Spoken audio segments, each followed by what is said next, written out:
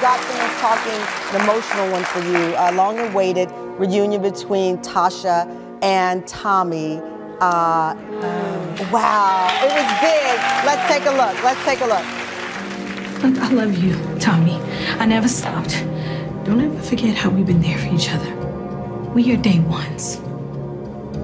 We're the only ones left. I know. I feel like I keep losing my people. So let's not lose each other.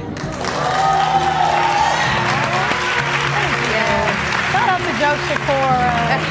Wow. Oh, that was a long awaited scene. Fans have been waiting to Yes. see what this up and down relationship between Tasha and Tommy would look like. Ghost Yeah. out of the picture.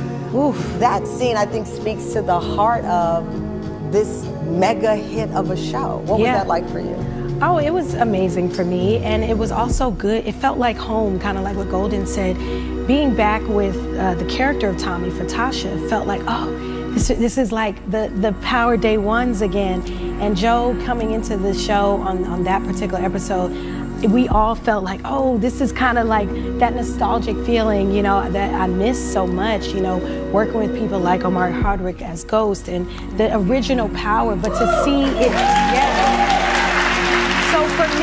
just felt like a homegoing, almost like coming, like you know, when you're at your barbecue with all your friends and you got your cookout. You're like, oh, this is family Yes. now. And then finally, Tommy and Tasha can work together. Yeah. And you know, because I know I killed Lakeisha. Shout out to to Lala.